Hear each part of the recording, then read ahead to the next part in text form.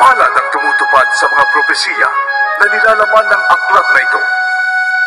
Akong si Juan, ang nakarinig at nakakita sa lahat ng ito. Matapos kong marinig at makita ang lahat, ako'y nagpatira pa sa paanan ng anghel na nagpakita sa akin ng mga ito upang siya'y sambahin.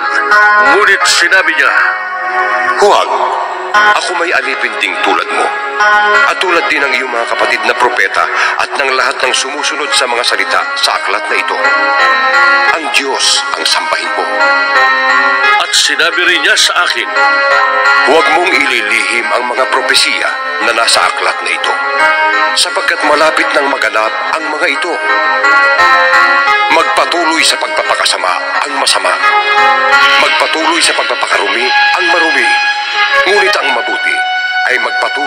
Pagpapakabuti at ang banal sa pagpapakabanal. Makinig kayo! sabi ni Jesus, Darating na ako. Dala ko ang mga gantimpalang ibibigay sa bawat isa ayon sa kanyang ginawa.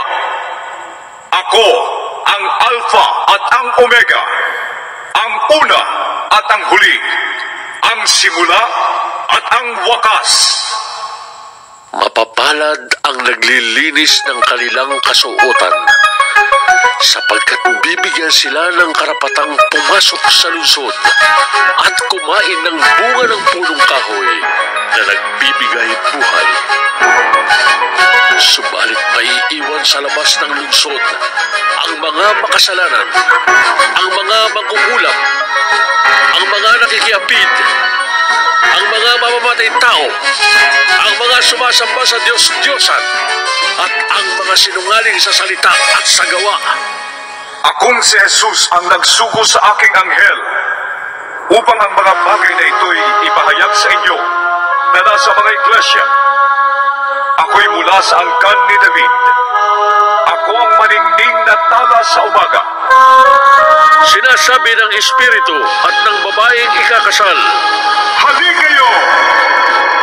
Lahat ng nakakarinig nito ay magsabi rin, Hali kayo! lumapit ang sinumang nauuhaw. Kumuha ang may gusto ng tubig na nagbibigay buhay. Ito'y walang bayad. Akong si Juan ay nagbibigay ng babala sa sinumang makarinig sa mga propesiya na nasa aklat na ito. Ang sinumang magdaragdag sa nilalaman ng aklat na ito ay daragdagan ng Diyos ng parusa. Idaragdag sa Kanya ang mga salot na nakasulat dito. Ang sinumang mag-alis ng anuman sa mga propesiyang naririto ay aalisa naman ng Diyos ng karapatan sa bunga ng punong kahoy na nagbibigay buhay at sa banal na lungsod na binabanggit dito. Sinasabi ng nagpapatotoo sa lahat ng ito, Tiyak na nga, darating na ako. Amen. Sana'y dumating ka na, Panginoong Jesus. Naway makamta ng lahat ang pagpapala ng Panginoong Jesus.